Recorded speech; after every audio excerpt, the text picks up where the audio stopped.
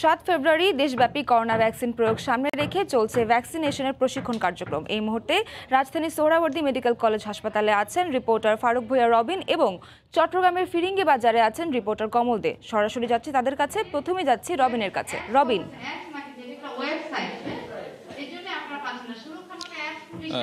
যদি নাবিলা বলতে চাই রাজধানী সহ সারা দেশে যে আগামী রোববার থেকে শুরু হতে যাচ্ছে গণহারে একযোগে টিকাদান কর্মসূচি এবং সেই টিকাদান কর্মসূচির জন্য রাজধানীর যে ঢাকার মধ্যে উত্তর সিটি কর্পোরেশন এবং দক্ষিণ সিটি কর্পোরেশনের অধীনে কিন্তু যে আলাদা আলাদা যে টিকা কেন্দ্রের ব্যবস্থা করা হয়েছে এবং ঢাকা উত্তর সিটি কর্পোরেশনের আওতায় মূলত যে চব্বিশটির মতন টিকাদান কেন্দ্র থাকবে এবং সেই টিকাদান কেন্দ্রগুলোতে, যে চব্বিশটি টিকাদান কেন্দ্রগুলোতে দুইশো দশটি টিম থাকবে টিম কাজ করবে, যাদের মধ্যে আসলে যে চারশো জন ভ্যাকসিনেটর থাকবেন এবং আটশো চল্লিশ জন তারা আসলে যে স্বেচ্ছাসেবী থাকবেন। অর্থাৎ একটি টিমে দুইজন করে ভ্যাকসিনেটর এবং যে চারজন করে ভলেন্টিয়ার থাকবেন। তো সেই জায়গাতে যে তারা, তাদের যে ভ্যাকসিন কার্যক্রম, সেটা আসলে কীভাবে পরিচালিত করবেন এবং যারা ভ্যাকসিন নিতে আসবেন, তাদেরকে তারা কীভাবে সেটি প্রয়োগ করবেন সেই বিষয়গুলো নিয়ে কিন্তু যে খুঁটিনাটি আরও অনেক যে যে বিষয়াশয়গুলো রয়েছে, সেগুলো আসলে জানানোর জন্য আজকে এই মুহূর্তে যে রাজধানীর সোহরওয়ার্দী মেডিকেল কলেজ হাসপাতালে এটি যে প্রশিক্ষণ চলছে এবং এই প্রশিক্ষণের মধ্যে আমরা আসলে যেটি দেখছি যে বেশ কয়েকজন যে স্বেচ্ছাসেবী যেমন ভ্যাকসিনেটর যেমন অংশ নিয়েছেন, ঠিক একইভাবে বেশ কয়েকজন ভ্যাকসিন স্বেচ্ছাসেবীও এখানে অংশ নিয়েছেন এবং ঠিক একইভাবে এখানকার মতন কিন্তু রাজধানীতে আরও যেই বিশটি কেন্দ্রে কিন্তু ঠিক একইভাবে যে একযোগে প্রশিক্ষণ চলছে এবং সেই প্রশিক্ষণের মাধ্যমে তারা যারা কত সময় পর্যন্ত ভ্যাকসিন দেওয়া হবে এবং ভ্যাকসিন দেওয়ার পর তারা যে, যারা ভ্যাকসিনেটর তাদের ভূমিকা কি থাকবে, স্বেচ্ছাসেবকদের ভূমিকা কি থাকবে এবং তারা কীভাবে মানুষের মধ্যে এটা প্রয়োগ করবেন, সেই বিষয়গুলোতে কিন্তু খুঁটিনাটিভাবে নানা ধরনের দিক নির্দেশনা এবং যে তাদেরকে সেভাবে প্রশিক্ষিত করে তোলা হচ্ছে।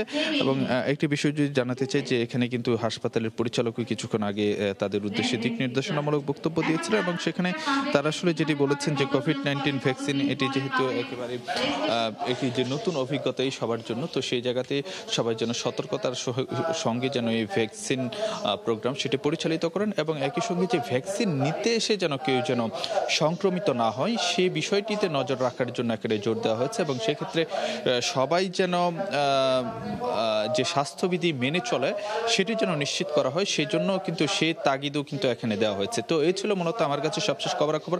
আমরা একটু জানার চেষ্টা করব বন্দরনগরীর চট্টগ্রামে সেখানকার যে ভ্যাকসিনেটরদের যে প্রোগ্রাম দেওয়া প্রশিক্ষণ দেওয়া হচ্ছে সেই খবরাখবর জানতে আমাদের সেটি জানাবেন আমাদের সহকর্মী কমল দে। কমল। রবেন। করোনা ভ্যাকসিন এবং সাধারণ ভ্যাকসিনের মধ্যে কিছুটা পার্থক্য রয়েছে, যে কারণে কিন্তু যারা করোনা ভ্যাকসিনের, ভ্যাকসিনেটার রয়েছেন, তাদের শুরু হয়েছে প্রশিক্ষণ, বিশেষভাবে প্রশিক্ষণ দেওয়া হচ্ছে। আমরা যতটুকু জানতে পেরেছি, সেটি হলো প্রতিটি ভ্যাকসিন ভায়াল থেকে পাঁচ মিলিমিটার পরিমাণ ভ্যাকসিন নেওয়ার পরে নব্বই ডিগ্রি অ্যাঙ্গেলে গিয়ে কিন্তু হাতের বাহুতে করোনা ভ্যাকসিন প্রয়োগ করতে হবে। এবং করোনা ভ্যাকসিন এবং সাধারণ যে ভ্যাকসিন প্রয়োগের ক্ষেত্রে সেখানে যারা টিকাদান কর্মী বা ভ্যাকসিনেটার রয়েছেন, সেখানেও কিন্তু বিশেষত রাখা হয়েছে। আগে যারা এই পিএ কর্মসূচিতে টিকাদানে ছিলেন, তারা কিন্তু এবার টিকা দেবেন এবার টিকা দিবেন সিনিয়র নার্স এবং অন্যান্য ব্যক্তিতে যারা চিকিৎসক রয়েছেন তারাই। সেই কারণে তাদের প্রশিক্ষণটা একটি বিশেষভাবে দেওয়া হচ্ছে। তার জানেন, চট্টগ্রামে কিন্তু চট্টগ্রাম শহরে সিটি কর্পোরেশনের তত্ত্বাবধানে রয়েছে পঁয়ষট্টি সেন্টার এবং যে উপজেলাগুলি, চোদ্দোটি উপজেলা রয়েছে, আঠাশটি সেন্টার সিভিল সার্জনের তত্ত্বাবধানে। তো প্রশিক্ষণ চলছে, এর আগে প্রশিক্ষণ দেওয়া হয়েছে। যারা চিকিৎসক এবং প্রশিক্ষণ দেবেন তাদেরকে। আজকে চলছে সরাসরি ভ্যাকসিনেটারদের দুদিন ব্যাপী প্রশিক্ষণ চলবে। চট্টগ্রাম সিটি কর্পোরেশনের তত্ত্বাবধানে আজকে কিন্তু দেড়শো ভ্যাকসিনেটারকে একযোগে প্রশিক্ষণ দেওয়া হচ্ছে চারটি পয়েন্টের মধ্যে। এখানে মূলত প্রশিক্ষকরা তাদেরকে করোনা ভ্যাকসিনটি কীভাবে প্রয়োগ করবেন? একই সাথে করোনা ভ্যাকসিন প্রয়োগের ক্ষেত্রে কী কী বিধিমালা মানতে হবে সেটি যেমন জানাচ্ছেন, আবার করোনা ভ্যাকসিন প্রয়োগের পর পার্শ্ব প্রতিক্রিয়া কী হতে পারে এবং সেটি কীভাবে সামাল দেওয়া হবে সেটিও কিন্তু তারা প্রশিক্ষণ দিচ্ছেন। তারপরে জানেন যে চট্টগ্রামে কিন্তু চার লাখ ছাপ্পান্ন হাজার ডোজ ভ্যাকসিন নিয়ে আসা হয়েছে এবং সাত তারিখ সেগুলো প্রয়োগ করা হবে নগরীর পঁয়ষট্টিটি সেন্টার এবং রয়েছে জেলা রয়েছে চোদ্দোটি সেন্টার। তো এই মূলত সেই সেন্টারগুলোতে একযোগে এই ভ্যাকসিন প্রয়োগ হবে সাত তারিখ। তার আগে কিন্তু প্রশিক্ষণ চলছে এবং পাঁচ তারিখের মধ্যে উপজেলাগুলিতে কিন্তু এই ভ্যাকসিন পৌঁছে দেওয়া হবে বলে সিভিল সার্জন আমাদেরকে জানিয়েছেন। এবং সিভিল সার্জন যেটি বলছেন, তারা দুইভাবে প্রশিক্ষণ চলছে। সেই প্রশিক্ষণের দুই অংশের মধ্যে এক অংশ সিটি কর্পোরেশন, আর এক অংশের মধ্যে রয়েছে সিভিল সার্জনতে উপজেলা পর্যায়ে।